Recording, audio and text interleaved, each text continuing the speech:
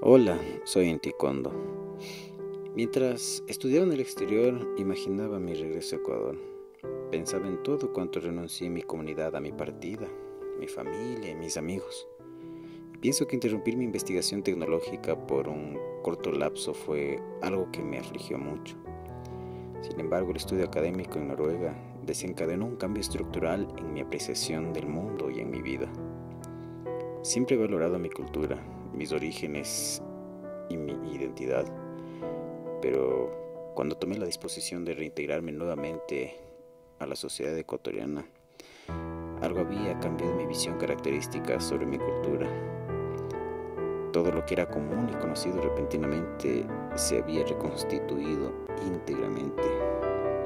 Estudiar en un idioma diferente, compartir academia con estudiantes de diferentes países, todo eso había cambiado me sentí forzado a replantearme nuevamente lo que había aprendido y ahora lo valoro aún más. Este fue un proceso arduo de aprendizaje sobre Escandinavia, sus colores, música, gente y arte, que son para mí en esencia exquisitos, únicos, a tal punto que llegan a alegrarme el alma, tanto como la cultura andina.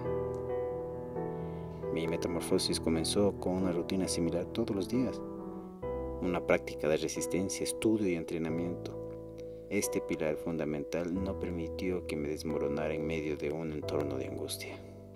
En el presente soy capaz de advertir situaciones que no comprendía y soy consciente de que he experimentado una transformación sin darme cuenta.